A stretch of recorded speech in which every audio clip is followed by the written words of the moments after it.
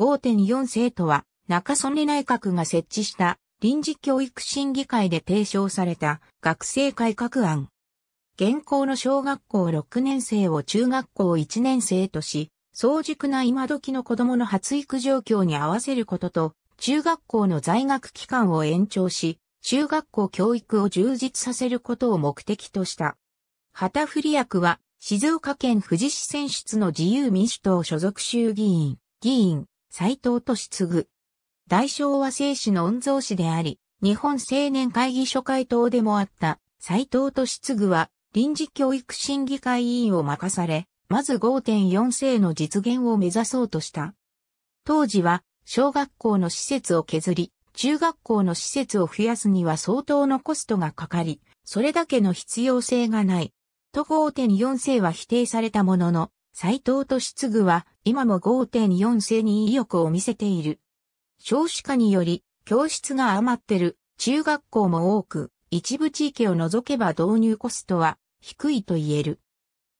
子供の早熟化を考えれば、現行の小学校6年生は、小学校1年と共に過ごすよりも、現行の中学校3年生と過ごす方が自然。中学校生活に慣れるのに1年かかり、最後の1年は高校受験に追われ、現行制度では腰を落ち着けて、中学校生活を謳歌できるのは2年生の1年間だけだ。中高一貫は教育基本法の改正が必要だが、5.4世は学校教育法の改正だけで実現できる。少子化の今こそ最小限のコストで5.4世を実現する機会と斎藤俊次は強調する。ただ5.4世では中学受験が1年早まり、受験の低年齢化、格差拡大などが懸念される。